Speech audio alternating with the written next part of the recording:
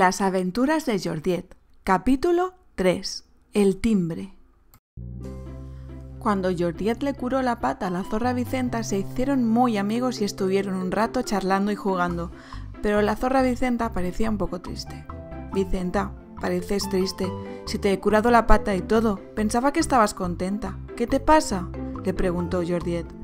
Sí, sí, estoy muy agradecida que me hayas curado la pata, pero estoy triste porque hace mucho tiempo que no veo a mi familia. Pues yo te ayudaré a encontrar tu familia, le dijo Georgette. ¡Ostras, de verdad! ¡Qué bien! dijo la zorra Vicenta saltando muy contenta de aquí para allá.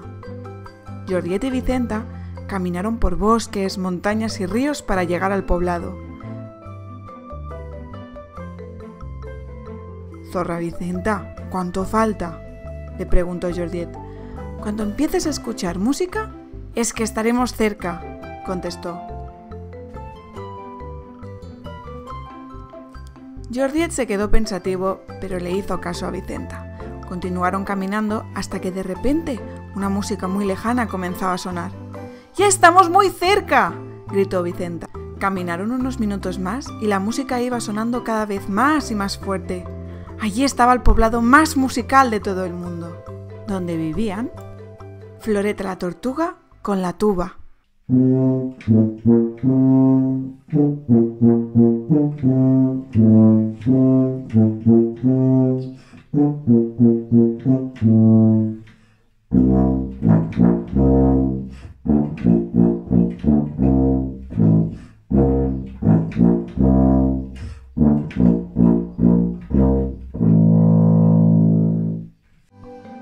Púa, el erizo, con la guitarra.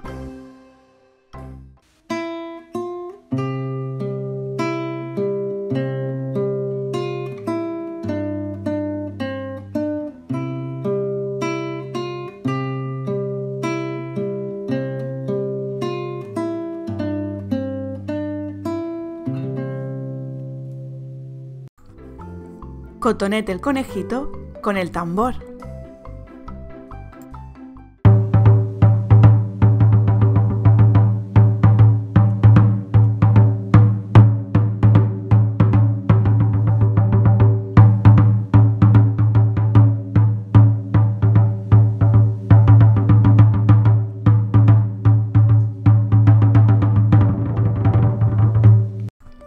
Y el pajarito Dent con la flauta travesera.